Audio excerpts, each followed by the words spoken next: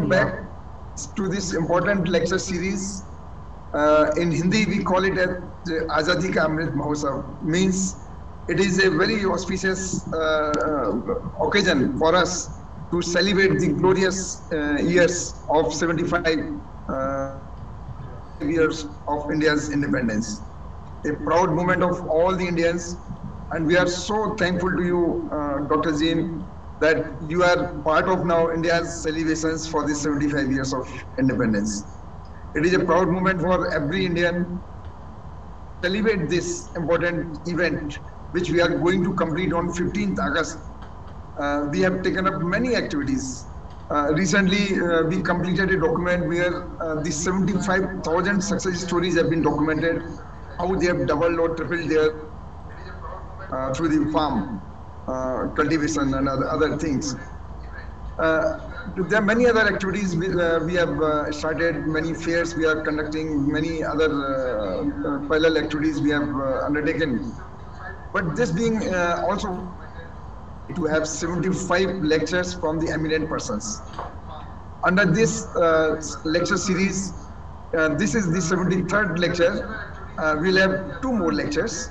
So uh, I think uh, we are so thankful to you for agreeing uh, uh, towards the completion. We are having a lecture, of such a eminent person from such an important institute, which is really very close to India, this International Rice Institute.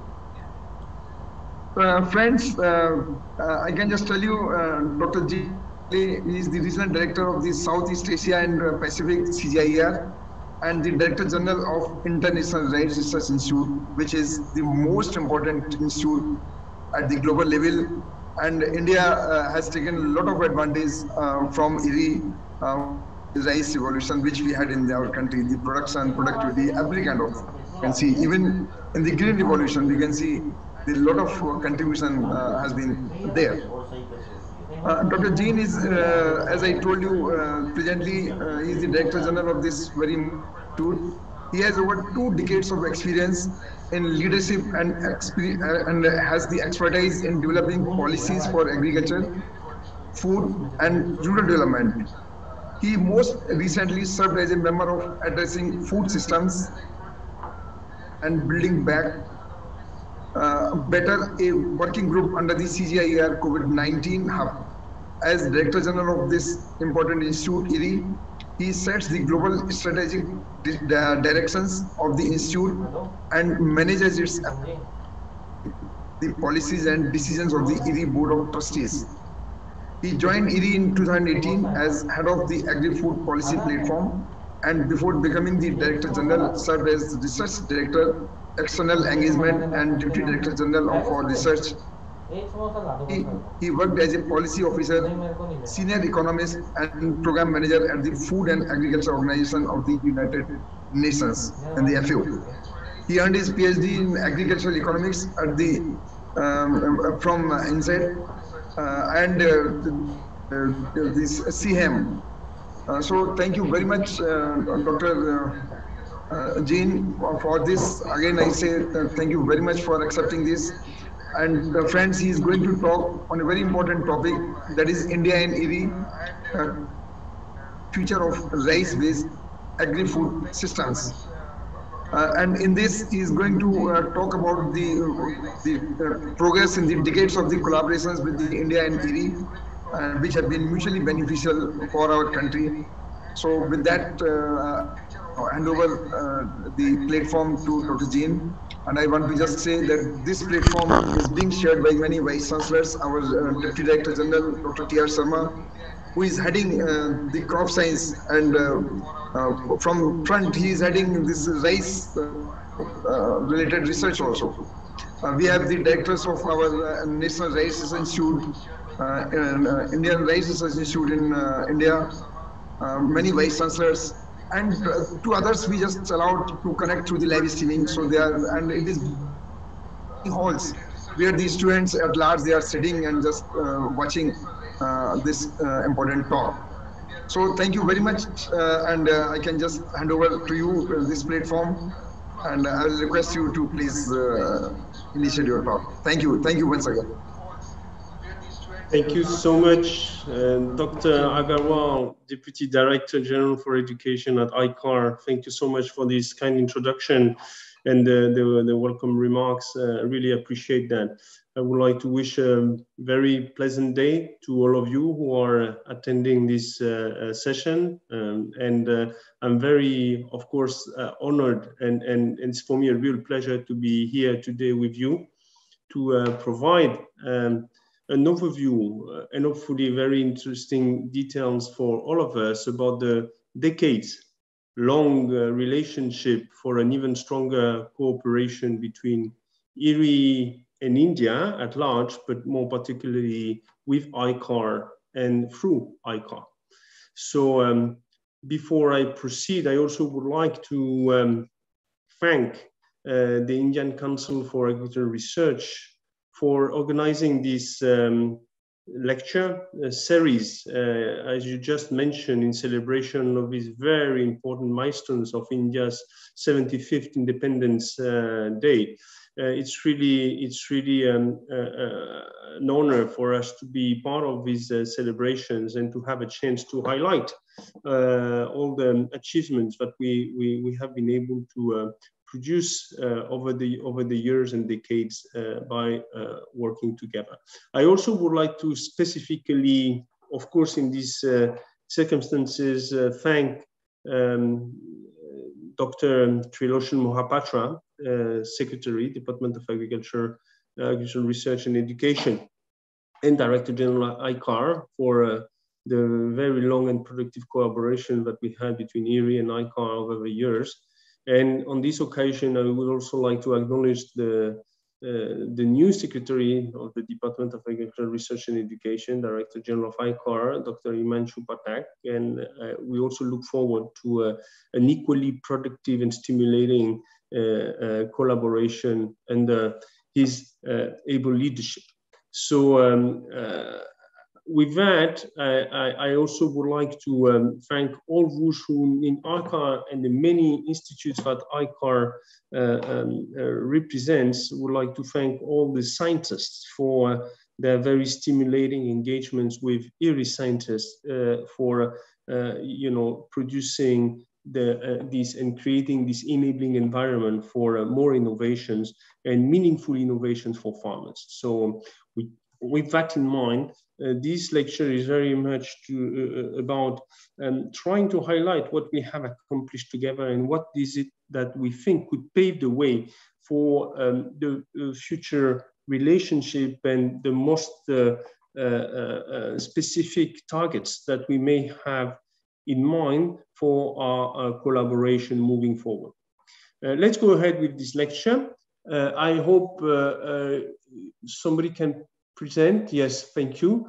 Uh, maybe we go to the next slide.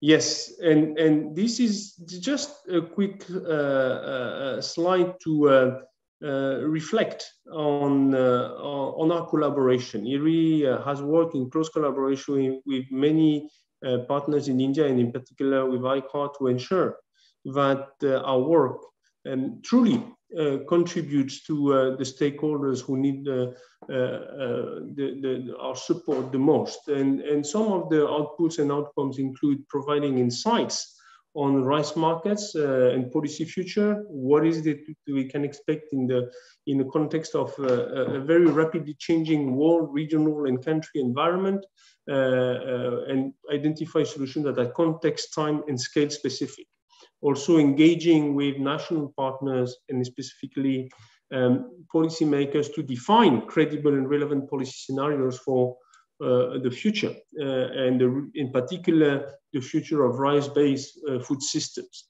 uh, while identifying the main driver of change. And of course, we will come back to that. We understand that there are many drivers that are specific to India with a rapidly growing economy and uh, and um, and so that also drive the patterns of change in the agriculture sector. Um, and uh, we we also hope that through you know the innovations, the technological innovation, but also institutional innovations that we uh, will uh, continue to produce together, uh, we will be able to uh, reach out to policymakers through our uh, uh, uh, technical advice to develop these um, context-specific solutions that will help adapt uh, these rice-based food systems to uh, the new context, and we will come back to that in, in, in, in the next few slides. Next slide, please. So quickly, our partnership with, with India dates back to the early seven, uh, 1960s. Uh, and, and this has proven to be one of our most effective and long-standing collaborations to date. Um, these deep uh, collaboration help us to achieve some of our most significant milestones not just in the agricultural sector of the country, but also in the, uh, the sub-region South Asia at large and beyond. So we will talk a bit, a little bit about that. Next slide, please. So here is, here is a slide about you know, the, the timeline of our collaboration, highlighting not just the initiatives or projects that have uh, we have uh, uh, done together, but also the, the key personalities that paved the way for our, our, our decades-long partnerships uh, that we have grown and, and progressed over the years. So, of course, uh, in 1967, I will not name all of them, but uh, uh Dr. Benjamin Peary Pal, first Director General of ICAR, became part of the IRRI Board of Trustees, and that is for us a very key milestone. After that, um, in 1982, uh, the formidable Dr. Swaminathan became IRRI's for, uh, fourth Director General. And, and his legacy is still living today. Uh, uh then uh, in 26, uh, the second International Rice Congress, as you can see, was held in New Delhi, attracting almost 1,400 participants from all over the world. And that was really a moment of exception when we could actually shed light on rice science. In 2012, uh, Hyderabad hosted the sixth uh, International Hybrid uh, Rice Symposium and was also a very important milestone for us, but also for the global rice community at large. Um, in 2017 and 2018, uh, that was really uh, uh, exceptional. Prime Minister Narendra Modi inaugurated the Resilient Rice Field Laboratory in IRRI headquarters and also IRRI South Asia Regional Center uh, located in Varanasi. And so these, these really were, were uh, um, incredible uh, moments for, for IRRI's uh, and uh, its collaboration with Indian partners. Last year, the IRRI Speed Breeding Facility, which is the latest and most um, significant investment to um, improve our breeding techniques uh, was inaugurating, inaugurated in, in, in, uh, at Varanasi, uh, at ISARC. And so this was also a, very, a very critical development. Next slide, please. So uh, until today, we of course continue uh, working to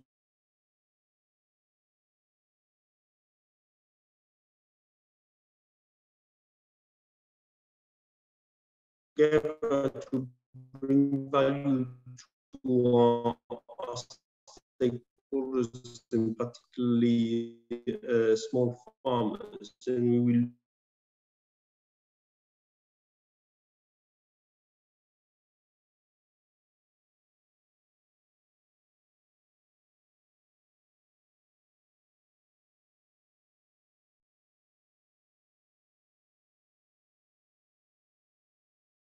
I, I'm still seeing the same slide. Is that is that only me, or or, or, or uh, watchers are also having the same problem? Yeah, we are seeing the same slide.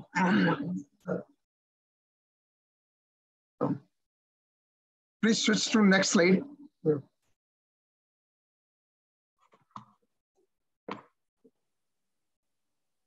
Okay, thanks. Uh, maybe we have a slight a slight delay uh, in the in the way we see the, the, slides. So of course here I wanted to highlight, you know, um, uh, uh what relates to the IRRI's rice stream banks. Most of you already know about these Erie rice streams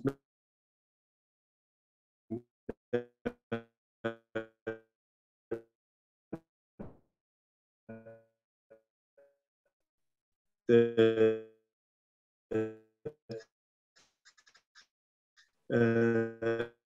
the gene that the, the first contributor uh, is, is India with uh, uh, 17,000 plus of these accessions coming from India, which represent 30%, 13% of the total. That makes India the biggest contributors, followed by, by Laos, as you can see, uh, with above uh, 15,000 accessions stored in our facility. And I am saying that because this is basically the foundation for most of the work that we are doing on genetics. And so I want to come back to that later on. Next slide, please. Yeah, these accessions, as I was saying, are used to um, develop rice varieties that, of course, high yielding, but also increasingly stress tolerant and can produce higher outputs or, and sometimes exhibit superior uh, nutritional outcomes, including uh, low, low glycemic index rice, and we will talk about that a bit later.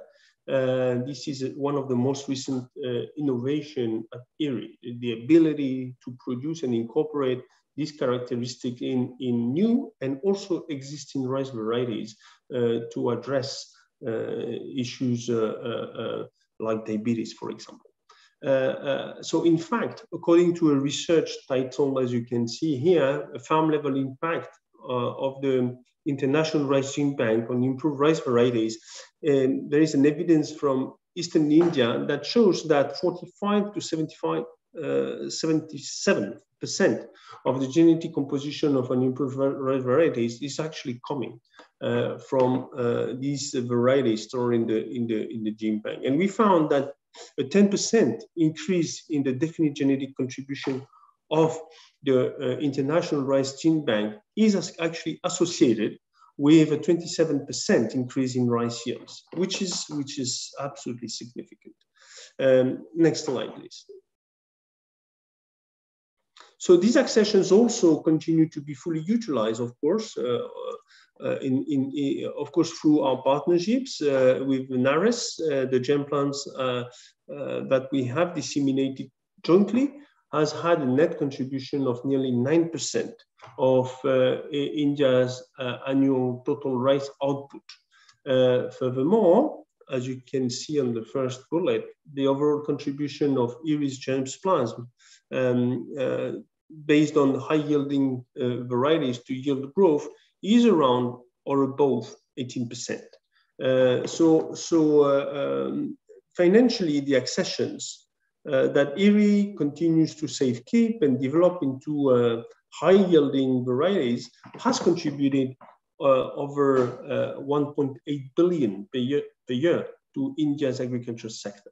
So these achievements continue to signal the strong ties and, and substantial returns uh, not only on investment in research, but also about the close collaboration between IRRI and the government of India at large, but also with ICAR in particular.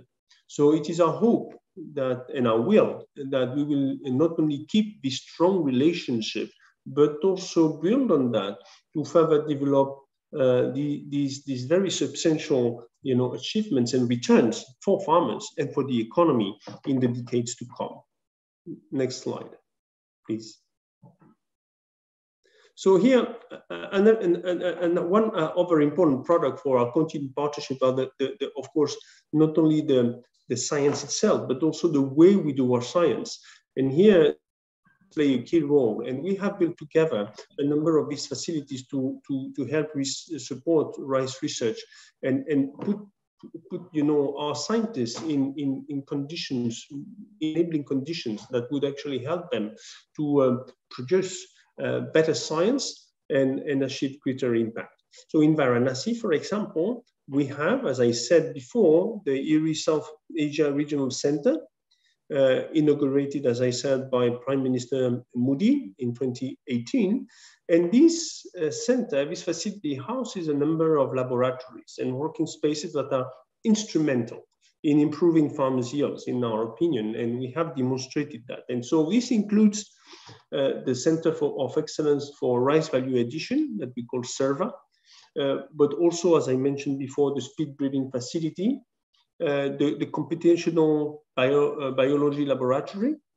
Um, and lastly, uh, the, the GIS, uh, Geographic Indication Systems uh, and Molecular Bio Biology Lab, among others. So these are really the, the, the key labs that we are using to leverage our science and project it into, you know, all, all the, the, the different streams of collaborations with our partners in India. Next slide, please. So next to uh, uh, we also have a hub what we call the South Asia Hub located in Hyderabad. And uh, in this building, uh, uh, we established also several labs, uh, a molecular lab um, that is endowed with almost, all the most modern equipments and can handle most of the components of molecular breeding. We have the field um, based rapid gener generation advancements facility that can help advance more than um, 50,000 lines uh, with three crop seasons. We also have the zinc uh, lab that can generate uh, zinc and several other macronutrients data at 300 lines per day. Uh, the head rice recovery lab uh, with two uh, specific Zakaria machines that are called that can generate head rice recovery data at 200 between 200 and 250 lines per day. Uh, then we have also the, the field uh, uh, blast, um, the, this established field rice blast screening facility uh, can uh, screen these uh, at least 2,000 lines per, per season that can be phenotyped using virulent strains. And then we also have the false smut control for control conditions-based false smut phenotyping, uh, following the established protocols, um, uh, and uh, that can again help screens 100 lines at a time. So th these are substantial, you know, equipments and, and techniques, as well as you know all the science that goes around it that can really enable us to advance, progress uh, our ambition in terms of collaboration. Next to that, we also have the direct seeded uh, rice phenotyping facilities that are being recently established at the South Asia Hub at, um, on the ICRISAT campus. And this, this altogether completes the, the, current, uh, the current tools and equipment that, that we have at uh, our disposal for our collaboration. Next slide, please. So we, we also have decentralized, as we call them, uh, programs uh, uh, and, and collaboration. So in several states, and I want to highlight just a few, one, for example, is in Odisha, uh, that includes, you know, uh, uh, uh drought and submergence tolerant rice varieties in the in, in seed systems, uh, facilitating targeted uh, production and, and sale using the most modern digital estimation tools that we call Seedcast to balance demand and supply.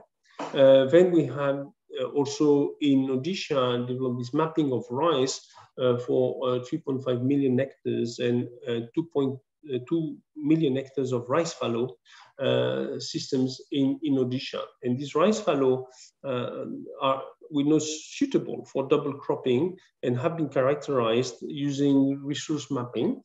Uh, we have also uh, uh, short duration pulses, for example, green gram, that have been tested and promoted for wide scale adoption.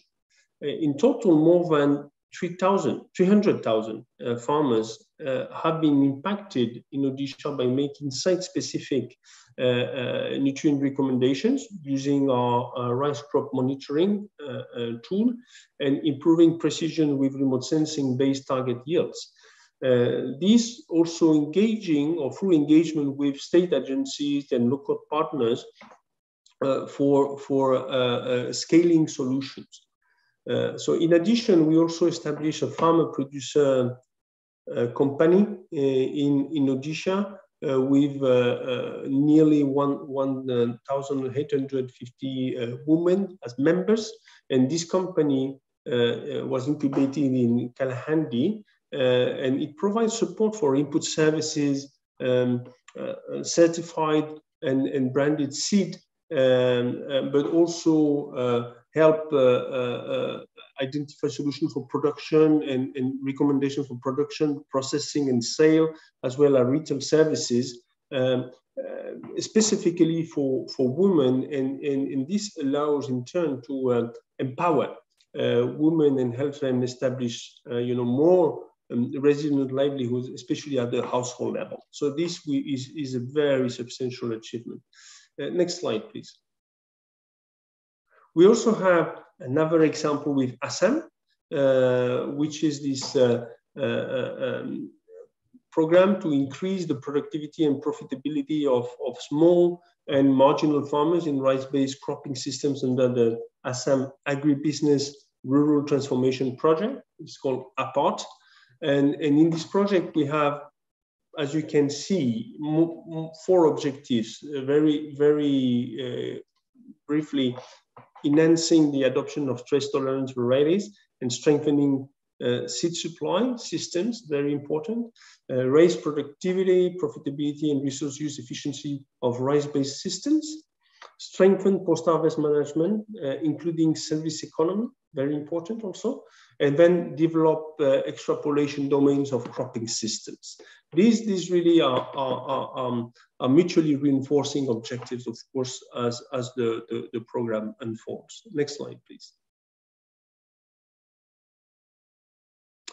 Uh, uh, so more details on the part, and I won't be long here, but let allow me to say a few words about, uh, for example, mainstreaming stress tolerance varieties, rice varieties. as you know, um, uh, it is very important that uh, these varieties are uh, disseminated and adopted by farmers at, at, the, at, a very large scale. And so, for example, flood tolerance varieties occupy um, 0.3 uh, million hectares in Assam already with a yield advantage of 1.2 ton per hectare uh, with uh, new, eight new rice varieties that have been introduced through these um, uh, projects. We also introduced the well-known um, Binadhan 11 under the Seed Without Border Agreement, and we will come back to that. This is a very popular variety uh, in the Boro season in particular. And uh, we have also managed to already strengthen seed systems by you know, uh, supplying these stress tolerant variety through public and private partnerships uh, in key in key areas of uh, of intervention of this of this APART program. Uh, of course, you have other components, then I want, don't, want, don't want to be too long on that, but maybe you can read or, or browse through that uh, and we can provide more details. But make, mainstreaming mechanization, seed to seed, our team uh, with, has worked with partners, local partners to introduce mechanized transplanting, but also direct seeded rice and develop um, uh, uh, nursery entrepreneurship. And this, this is, of course, really promising. And uh, the project also allowed uh, to improve targeting through geospatial analysis, uh, in particular, as I said before, mapping rice fallow and, and, and flood prone areas um, and targeting interventions through climate smart uh, or using climate smart technology. This ambitious and large-scale uh, project also has a substantial capacity development and knowledge dissemination component relying on for example, uh, seven training facility centers in particular uh, located there in this in these states. So we hope. I'm saying that because we hope, uh, because we find this this APART program very successful already, although it's not finished. We hope we can replicate this model uh, in other states of India and, and find the necessary partnerships to do so. Next slide, please. So uh, another initiative that has been a priority for us, uh, in particularly in recent months, of course, because climate change in, uh, is in everybody's mind at the moment and, and for probably for the month and years to come or decades to come. Uh, and this, this program is about securing food systems in, in Asia mega deltas. And so the countries in focus include India, and more specifically the, the Ganges Delta. Uh, um, so as we all know, um, deltas are, are, food baskets uh, for many countries in Asia, uh, and they are under substantial uh, threat due to uh, climate change. So it is, it is of utmost importance for us to maintain uh, socio-ecological integrity of these very fragile environments and to help adapt to climatic and other stresses.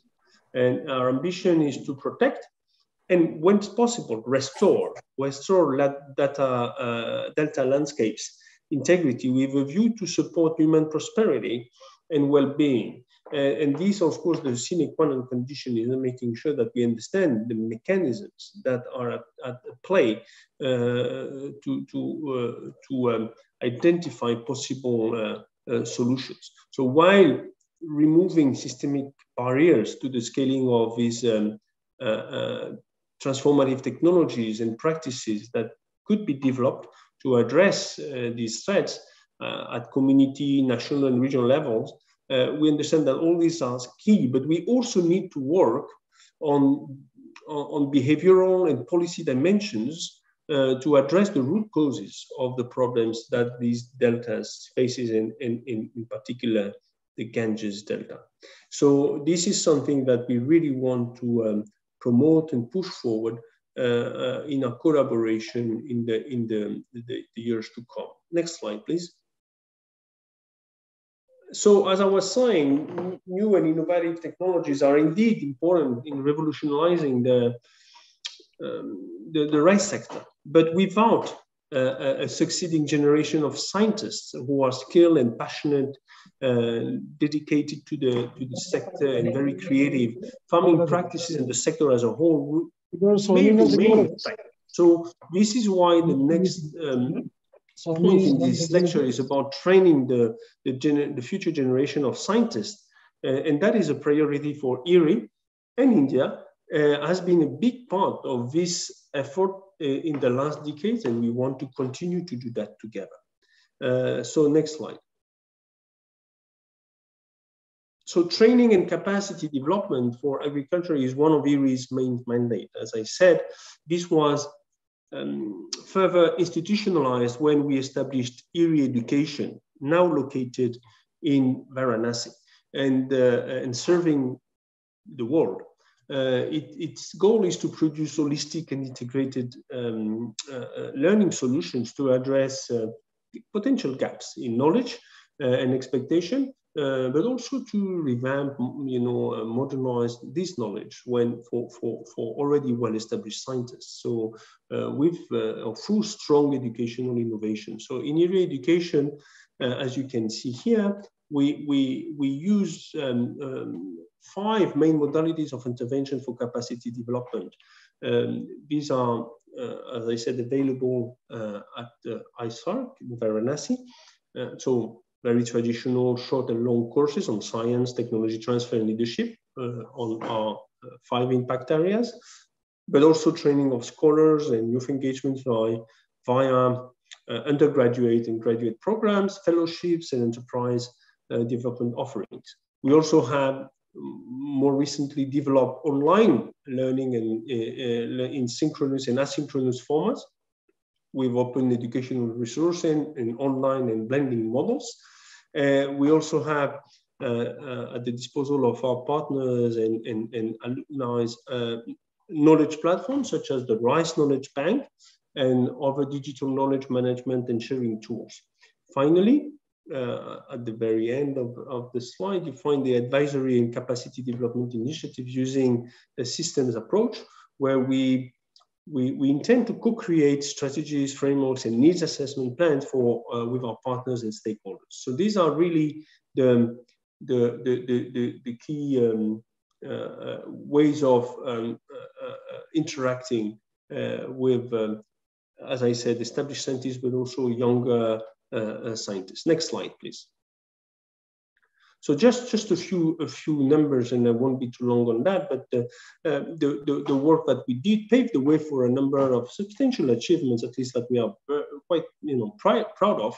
Uh, in 2021, uh, uh, for example, we were able to train more than uh, 1,200 senior level participants, so you know, uh, direct level and above, train more than uh, 42,000 beneficiaries who are various research projects, um, uh, not only in India, uh, in, in the region and beyond. Uh, also develop, you know, e-learning modules for short-term courses um, and, and, um, and, and approach and integrate in this kind of, you know, community of rice science, new scientists that are increasingly attracted to uh, what could be achieved through rice-based agri-food systems. And we also launched, as you can see, uh, the, the app version of the Rice Knowledge Bank in English and, uh, and Assamese uh, for those who are interested in this, in this version. Next slide, please. We're uh, also able to uh, reach beneficiary beyond India, as I was saying, with uh, utmost support from our local partners. And you can see here the distribution that we hope in the future can have more balanced distribution between female and male uh, beneficiaries, but that is something that is in the in uh, uh, we are working on. Next slide, please. We have also uh, so far covered, you know, technologies and innovation as well as training, um, uh, the next generation of scientists and researchers. Another important aspect for, for, for delivering impact, of course, is putting efficient research projects procedures uh, uh, in place uh, so that our stakeholders can have access to our innovation in the easiest and most direct way possible. And so at IRRI, we are also focusing on what we call the process, how we actually uh, um, make the best use of the various platforms, tools, equipments that we have. So next slide so these, these, these models that we have developed at IRRI and that we are happy to share with everybody uh, include what is listed here. So very, very modern and, and highly advanced breeding and, uh, and breeding services, business development, portfolio management, technology transfer, as I said just before, education and training, uh, extensive and active role in precision farming, and more. So what I'm trying to say here is that we don't see this as, as, as linear topics. Uh, we really see this as integrated solutions, mutually reinforcing aspects that when we bring that together, really we create this uh, enabling environment for uh, uh, scientists to thrive. Uh, next slide.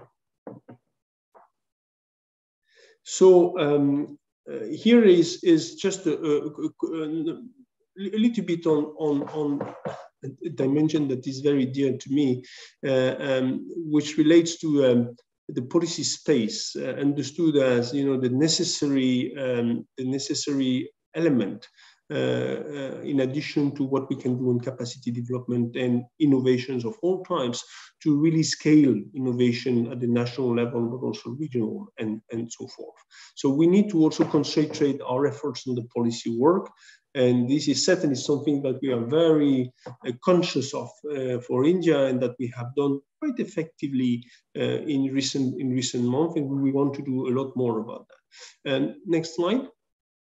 So one example, uh, and I cannot cite them all, but one example of, of the outcomes of these um, policy uh, innovations, I could say, is the Seed Without Border initiative, which is a multi-country seed sharing agreement that IRRI initiated, uh, and that uh, uh, uh, intends to deliver new and better um, high-yielding varieties, but also climate resilience rice varieties to reach farmers more rapidly through the establishment of common parameters uh, for uh, varietal release.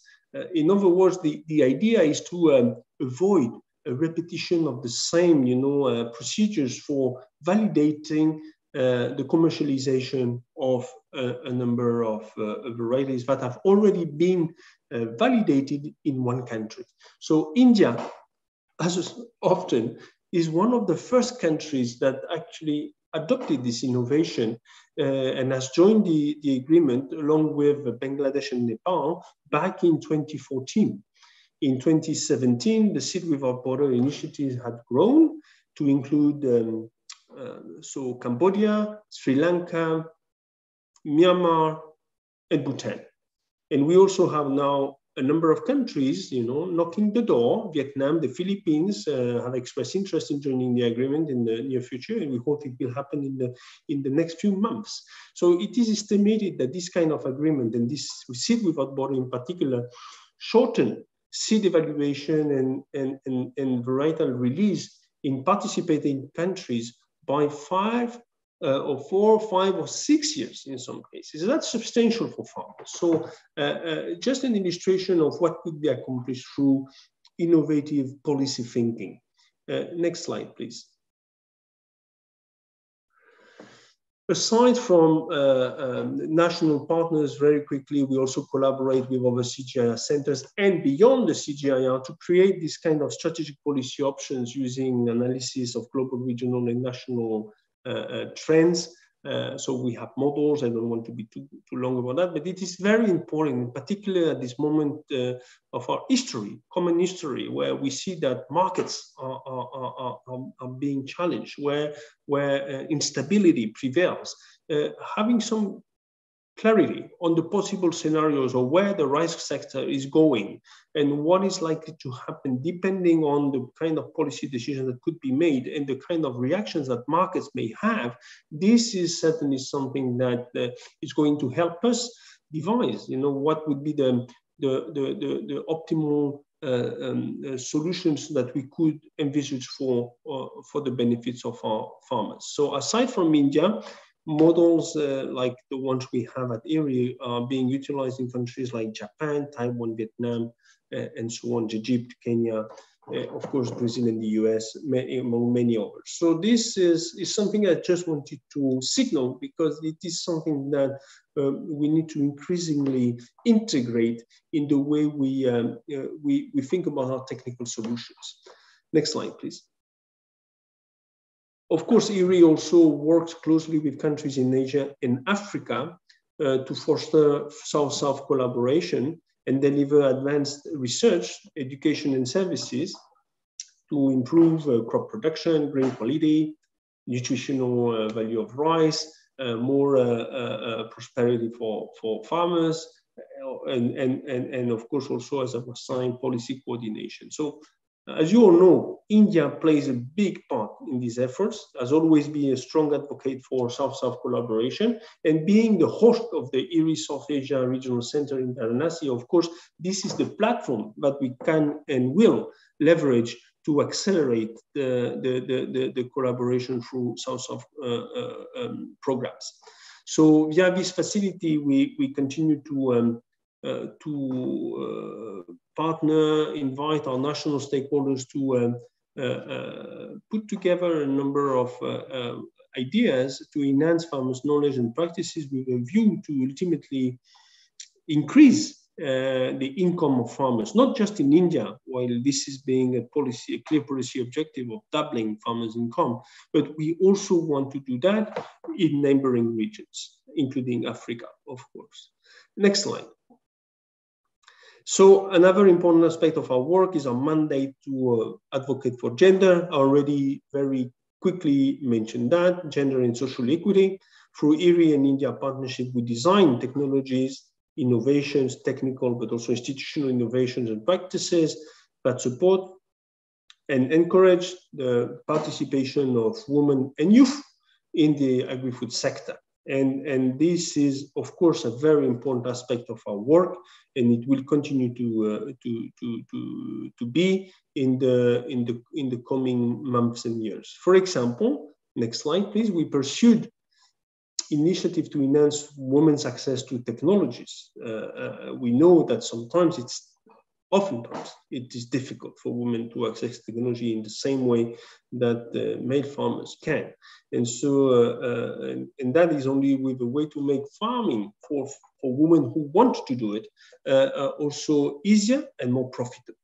We also want to prioritize capacity building for women and youth that aims to promote uh, this notion of entrepreneurship in seed production and marketing, for example, also engage with women in processing and value addition of rice-based products. So always keeping in mind what are the specific conditions that will attract women and youth to actually benefit from uh, uh, all these, uh, uh these programs and also from the market itself. Next slide, please. IRRI is, is also in the midst of transitioning to one CGIAR, and that is also one way of looking into the future uh, IRRI is one of the 12 centers that have decided to form this one CGIAR, uh, building on the, the traditional CGIAR, which is about you know a stronger organization that has uh, ultimately more global impact. And this will largely, we hope, and we, we, we are committed to making that happen uh, uh, uh, to, to actually more, more largely benefit farmers in, in, in a growing number of countries Uh, where we work, uh, including India, given that India is one priority country uh, under the one CGIAR. So next slide, please. So, so that is a bit, you know, stated the obvious for this audience, but uh, it is worth recalling uh, when we talk about India, we talk about the, the, the, the third, in, in the coming years, the third largest economy by, by 2030, as well as uh, already uh, a major uh, food export, uh, not only in rice, but in many other commodities. So uh, India is a key player and is, is, a, is a, a, a market maker so uh, India is rapidly developing its own ambitious, um, uh, ambitious um, ambitions. I wanted to say ambitions uh, in terms of overseas uh, uh, development program uh, of assistance with a major focus on science and technology cooperation, as we know, in the field of agricultural development, but also on other aspects, making sure that it can benefit from this kind of global weight and so um, IRRI uh, intends to um, play a role in that and support uh, India's ambition.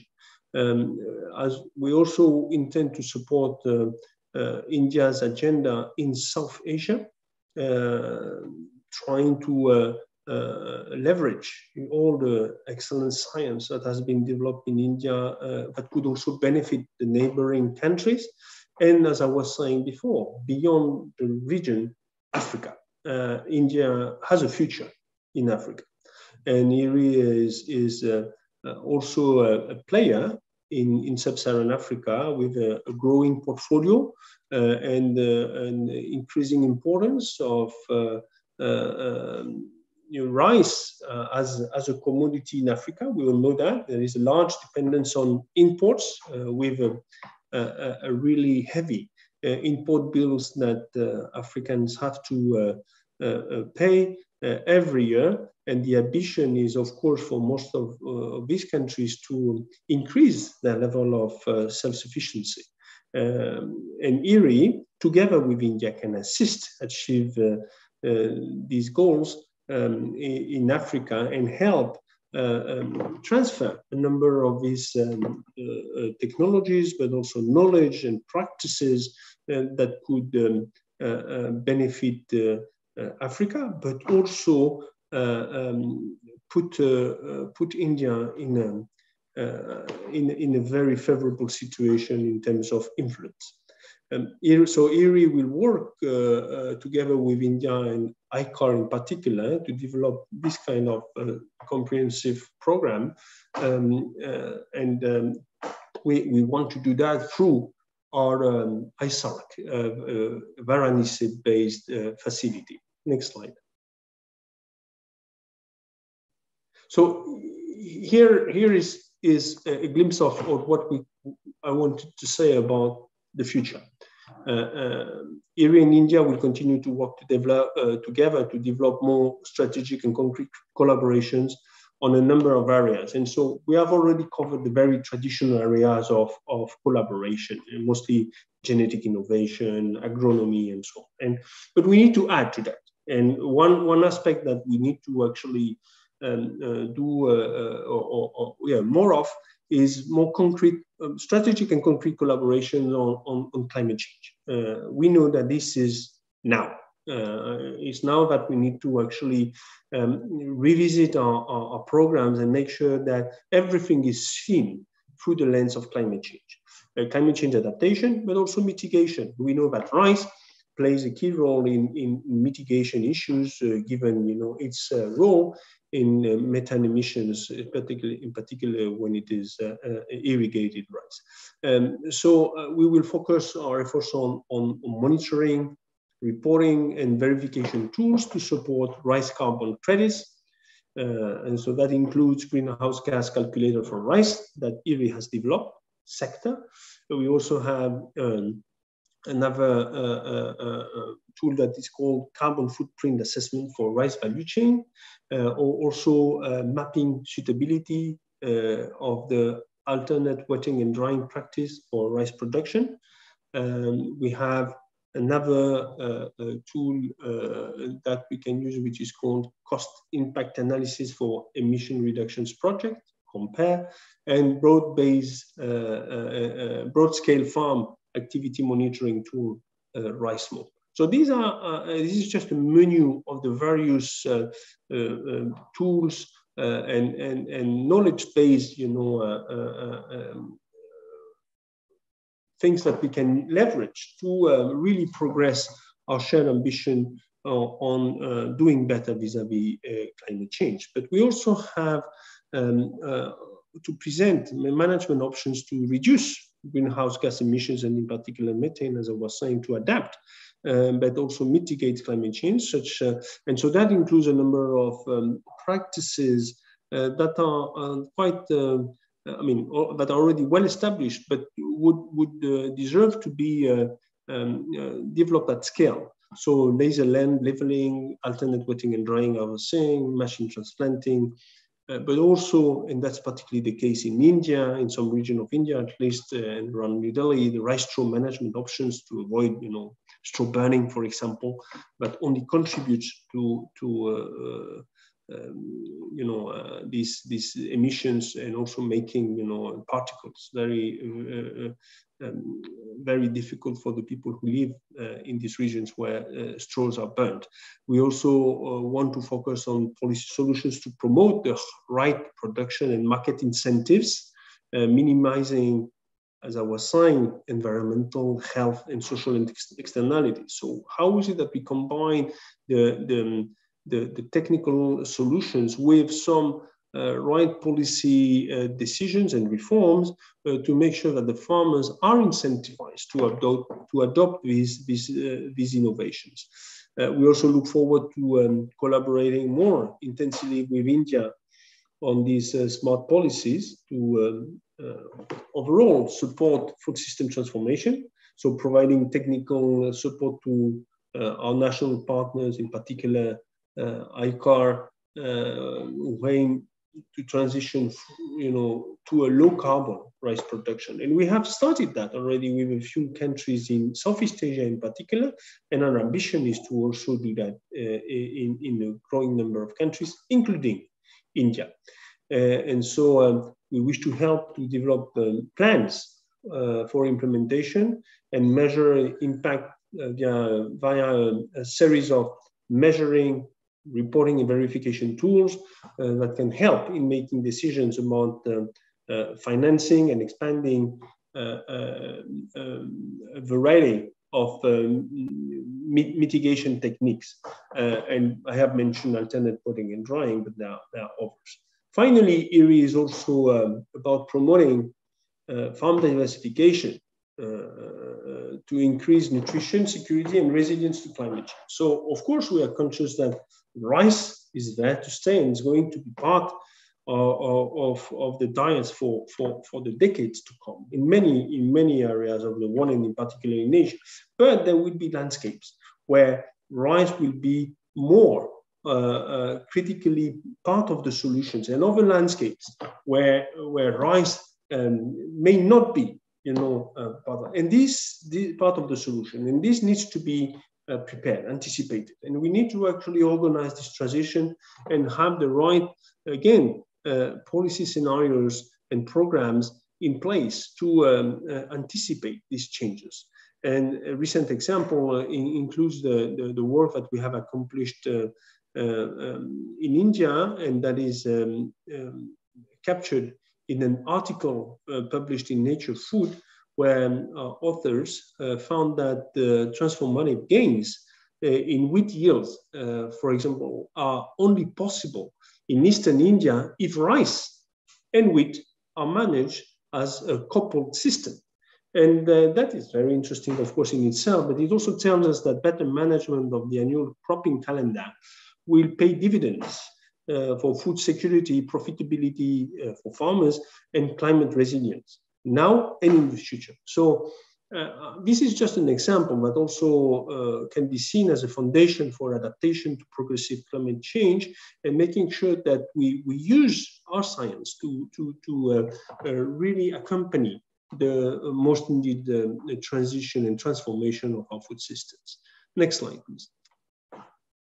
And I think we are getting, yeah, that's the last, I think, slide about the, um, the future. As I said, um, IRRI has joined uh, uh, uh, the 1CG and uh, together with other centers, we want to form a unified system organization that aims to um, have a more uh, as I said, extensive impact in the region where we operate and in India in particular. I repeat, India is, is a core country and many initiatives uh, that uh, the One CGI has launched are already uh, uh, either about to be implemented or already implemented in, in India. And under this unified CGIAR, the scientific innovations for food, land, and water transformation can be uh, the ambition is about that. Uh, deploy faster this innovation, making sure that this, this is adopted uh, at very large scale, at a reduced cost, to have the, the, the, the greater impact uh, uh, in very uh, in very specific locations.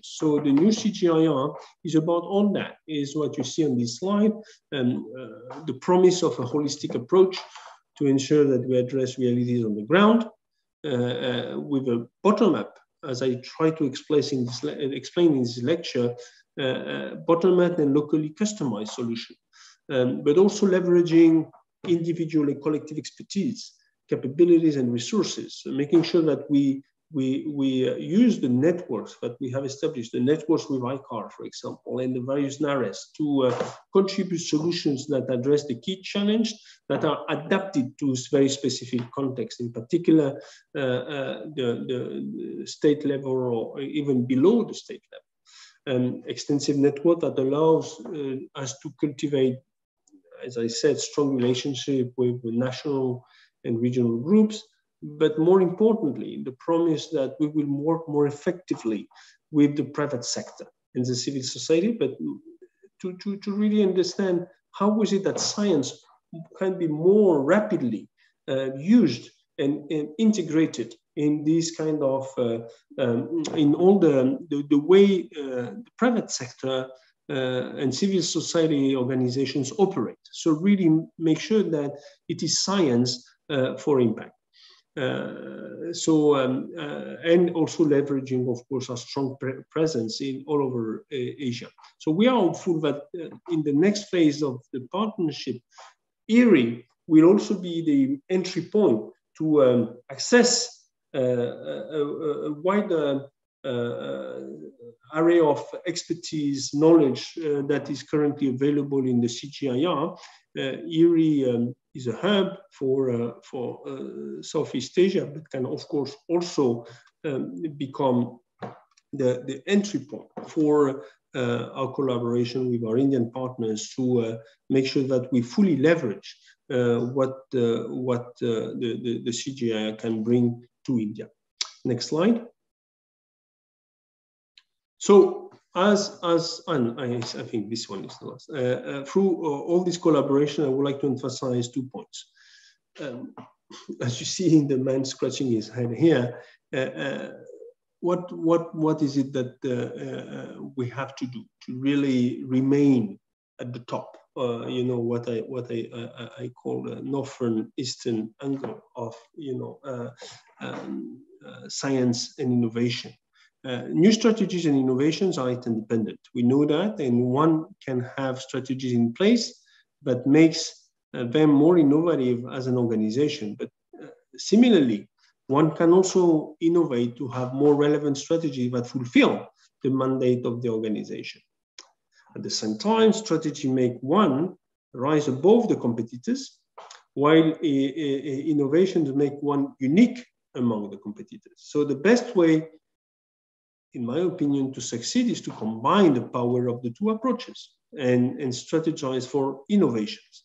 So we strongly believe that our collaboration with India is built upon this uh, framework that I just tried to, to, to, describe, and that we want to continue with this kind of partnership uh, to be able to um, achieve even more in the future uh, for uh, as a result of our, our, our, collaboration. So that's called advantageous novelty, and so we will we will be keeping that in mind as we um, uh, engage uh, with our partners in India uh, in the in the in the future. Next slide. That's the, really the last one. So, of course, this is uh, uh, it is no contest that India has uh, hugely um, contributed to the agri-food systems of South Asia and beyond. I was mentioning India's impact, India's agriculture uh, impact in the world. Uh, and so this slide shows that uh, you know, how much impact India has had in the global agricultural sector. India is the largest, uh, as the largest, you know, national agricultural systems in the world with, uh, I mean, through ICAR, 111, if, I, if I'm well informed, ICAR uh, institutes and 71 agricultural universities among the most, most prominent ones.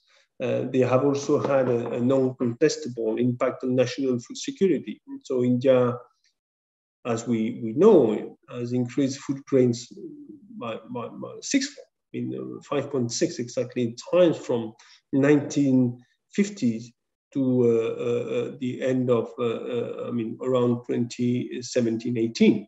That's, that's a formidable transformation.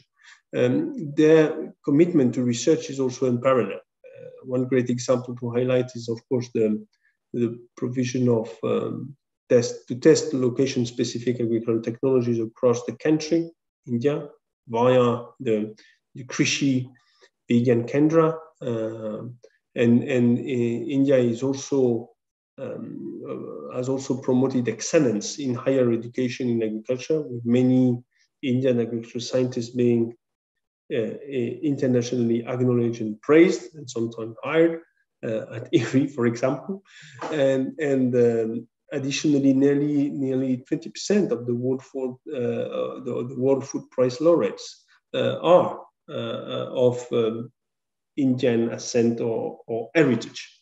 So it is definitely um, an honor uh, uh, for IRRI and for me in particular to be invited uh, today uh, before um, this audience, all our colleagues, uh, partners, um, to pay tribute to India's uh, science, research achievements on the occasion of this celebration of India's 75th Independence Day. Um, it has been an honor for IRRI to be working uh, throughout these years uh, with you all uh, uh, and, and develop what I have tried to show. I mean, and, and, and one hour is not enough uh, uh, to, to demonstrate, you know, all what we, we have been able to accomplish together, but also all what is left for us to accomplish uh, to address the uh, future, uh, the current challenges, and make sure that we reinvent ourselves to also recreate the conditions for another revolution that may not be called the green revolution, but the new revolution of food systems. And, and, and we are in that together. So we really look forward to a future with many more collaborations with, with you. Uh, we only have one hope actually, and it is to build on this legacy that I have tried to depict here and further develop our collaboration in the years and, and, and decades to come. Uh, with that, I end uh, my presentation, uh, uh, uh, and I'm really grateful to all of you for listening and happy to um, receive any question if you have. Thank you so much. Thank you. Thank you, Zin. Too. It's a wonderful talk. And I think one of the finest talk uh, about the IRRI and India collaboration, uh, especially the ICAR has been a great beneficiary with this uh, collaboration. Uh, in uh, you have given many commit uh, and many areas for the collaborations so that in 2030 India can become really the third largest economy in the world. thank you very much for supporting India and uh, especially during this uh, India's independence, this 75th years of independence. So it's uh, sure that for the food security, this uh, this kind of collaboration with IRRI is going to be of immense help to India, and especially in the uh, in the area of higher education, because I am the Deputy Director General for Higher Education. Uh, we are sending students to IRRI. They come with a great knowledge. you must have seen from many universities, the students are being uh, sent uh, under this National Agricultural Higher Education Project of the World Bank. And there's a long list of many more teachers and students to IRRI and to have the interaction there. Uh, Dr. Jean, uh, we have a few questions, if you just allow. Uh, our Deputy Director General Crop Science, Dr. T.R. Sharma, he is interested in knowing the status of the C4 rice. Also, he wants to know uh, that are you promoting the herbicide tolerance rice varieties for DSR system? And has IRRI developed uh, such varieties? Okay, that allows me to to uh, to dig into some of these uh, aspects that I may not have touched. So you, the, the first question, C4 rice, uh, it is true that IRRI has uh, invested substantial, you know, um, uh, um, efforts uh, in uh, C4 rice research with mixed results, to be honest. And so we have um, the, the program is we, we are we are currently uh, contemplating, you know, a, a, situation where we really want perhaps to phase out the research in C4 rice, not having substantial uh, or enough results. So most of our research has taken place uh, with our Chinese partner, uh, and uh, we have um, substantial evidence that it would be it would be costly and not necessarily um, providing the returns we, we expect to continue uh, on this collaboration. However, uh, the door is not totally closed. Uh, our scientists are, are still are still looking into that. Um, we, I could put whoever has had the question if there is a very specific interest in contact with uh, uh, our, our, scientists who are uh, specifically working on C4 rice, um, also to share some of the of the research results that are quite interesting, yeah, to be honest. But uh, uh it's not only, as I was trying to say in my lecture, not only about um, what is interesting scientifically, it is also what is actually uh, uh, um, likely to be profitable. And yeah. so we are we are looking into uh, uh, technical options that can certainly rapidly improve the the, the situation of farmers. So of course, as always, and you being a scientist, we learn a lot from these processes, but uh, sometimes, uh, well, we don't get the results we expect. And I think C4 rice is one of that. Um, um, the second question, I think, was about herbicide tolerant uh, uh, varieties. Uh, yes, herbicide, yeah. The context of DSR. To be honest, I don't know so I really, I, I, really have to go back to some of my of my scientists uh, to see whether this is an area. I think so, but I don't want to say something that is wrong. Uh, so I, I, take note of the question and I can certainly revert back. Uh, we have a full team in, in our breeding uh, uh, um, department working on that, but also agronomists. And I know there are many uh, uh, aspects of tolerance that are being looked at. Whether herbicides is the one that is uh, on, on, top of the list or is in the pipeline, I really, I really cannot answer authoritatively on that. And apologies for that. Uh, thank you. Thank you very much. Uh, there is another question by uh, Dr. Priyanka Das. what are the prospects of rice bran as human food? Can it be low cost solution malnutrition prevention? Yes, absolutely. And that's an excellent question, actually. So uh, that allows me to, uh, to touch upon a very important uh, aspect of our, our rice research. Uh, uh, for us, and increasingly, rice is not only the grain, right? It is, it is the, the whole plant, but also uh, the whole environment of the of the plant. And so we we are certainly looking, and we have a program on rice bran uh, to um, always the same idea: uh, add value, add value to uh, what farmers uh, can really market, but at the same time make sure that we provide more nutritious food from the consumers. So this aspect is being looked at. Uh, we have research that is uh, underway. Uh, if I'm not mistaken, there is a, a, paper that is in preparation on, on, on that about the various uses of the, the bran. And so again, same, same answer as before. Uh, this is uh, uh, clearly an area of work at IRRI uh, also an area uh, where we want to collaborate with others. So whoever has asked the question is most welcome to follow up with me or any of, our, of my colleagues to uh, really look into that and see where is it that we can collaborate more. Thank you. Thank you, Zin. Uh, one of our vice chancellor from the Kerala University, he is interested uh, in knowing what are the the three top priority area for the future linkages with India uh, from the uh, the the three the three top uh, priority areas topics. Yeah. So you, you said India. You didn't say ICAR. Uh, so, India. they are right. Yeah, and so we, we, we, we certainly have uh, uh, three main uh, um, ob objectives. so it depends on how you, you, want to look at it. Do you want to look at it from the, the science perspective? And, and certainly one is genetics. the other one is, is all that relates to agronomy. And the third one is what relates to um, uh, market uh, and, and, market systems and policy environment. So that's one way that is more, uh, you know, the, uh, uh, disciplinary aspects. So that the three main objectives that we have. But we also can look at the impact areas. So for IRRI, the number one priority is prosperity. So making sure that uh, through technologies, through capacity development, through uh, uh, these uh, policy frameworks, we can achieve higher incomes for farmers, number one. Number two, it has to do with um, what we have uh, uh, all to uh, realize now is climate change. making sure that the solutions that we have are the ones that will be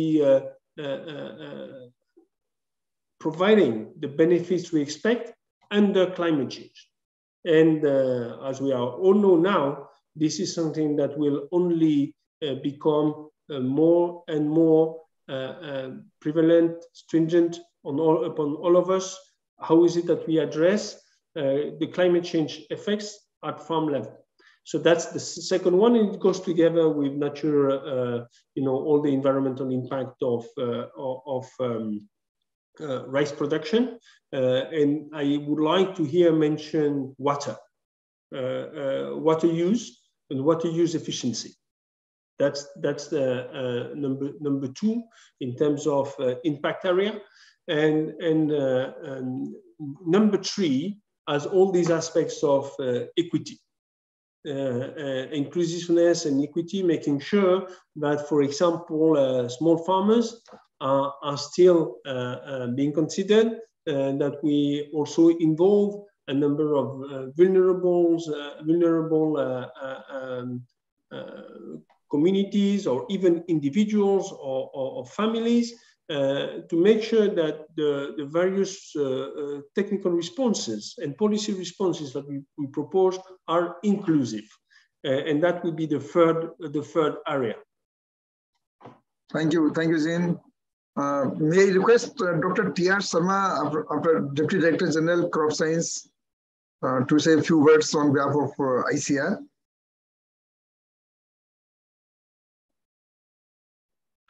Uh, good afternoon to all.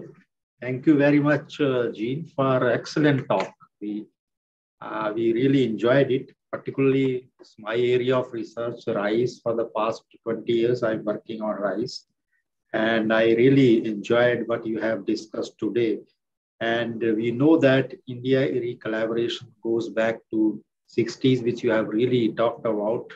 We had very historical cultivars like IR8 and IR64. IR64, I think it's a mega variety of rice which which include which contains six genes for blast resistance and still this is one of the predominantly grown varieties in country and uh, the areas which you have talked about particularly the India-IRRI collaboration for the future of rice and rice-based agri-food system. Uh, this, this was a, a, very important topic, and I'm sure that uh, all of us has sitting here in this particular talk have enjoyed it. And the most important thing is that uh, the topic which you structured in such a way that starting from timeline of milestones and then collaboration or how we are collaborating on different front and India, India's contribution to IRRI's rice gene bank. That, that is one of the most important and significant contribution of India in case of IRRI. Besides contribution of genomic resources to varietal development program, that, that has really given us a very important highlights of how genetic resources can be utilized for breeding high yielding varieties. And uh, the, the another thing which uh, we have really seen today is the state of the art facilities which you have developed at uh, Varanasi Center of ISARC. And these are really the facilities which probably National Agriculture Research System will also make use of uh, in our own breeding programs. We have already discussed with uh, the director of the institute, with Dr. Singh, and, and uh, we have made a plan that how best ways we can make use of these facilities. Otherwise, uh, in the region, these are the one of the best facilities probably we have got it. And then comprehensive research programs specifically for Odisha and Assam are really worth mentioning here, which you have talked about. And I'm sure that uh, this all our audiences which are, are benefited from this.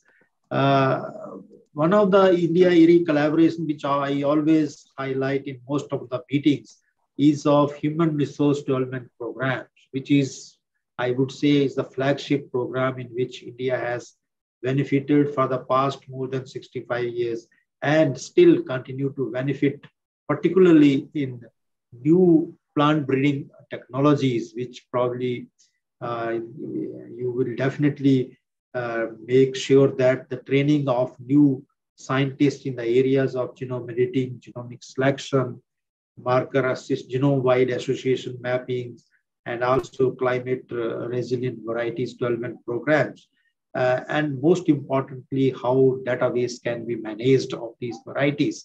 That, that particularly the breeding uh, database and these uh, areas would definitely help in our future programs. And I'm looking for uh, for more effective collaboration in the areas which you have mentioned, particularly rice carbon credit and reducing of uh, greenhouse gas emissions and particularly the nutritional security of the country. That's very important for us. Besides that, in our earlier meeting, I also talked about that we should also think of increasing India's capability in export rice potential. We, we are now exporting rice. We have we are looking for the export market and how IRRI can contribute in developing Japonica type of rice in India, which can be exported to other Southeast Asian countries. So these areas are really very, very important. And I'm sure that with your leadership and the leadership in India, this partnership of IRRI and India will definitely go further and we will be having a very good symbiotic relationship in, in, in the future too. So thank you very much. On behalf of ICAR, I would like to thank you for your excellent presentations. Yeah. And I'm really honored to have you. So thank you once again, uh, Dr. T.R. Sharmaji and uh, uh Dr. Jean uh, for this wonderful talk. And our all rice workers have been greatly benefited. Uh, this lecture is being stored on ICAR uh, website for the future. Our students, our scientists can listen to it even later on. And this works as a uh, as an educational tool uh, for uh, for the students for the future reference. The talk which you have given, I think, any topic of the collaboration, every topic, whether it's education, whether it's a carbon trading, whether it's a research, research transformation, every point has been covered nicely. So thank you very much once again. And uh, I would like to thank all, all the vice chancellors our DDG, our uh, all the professors, teachers, scientists for attending this lecture uh, on uh, this Zoom platform and on this live stream platform. So thank you once again. See you again. Namaskar. Thank you.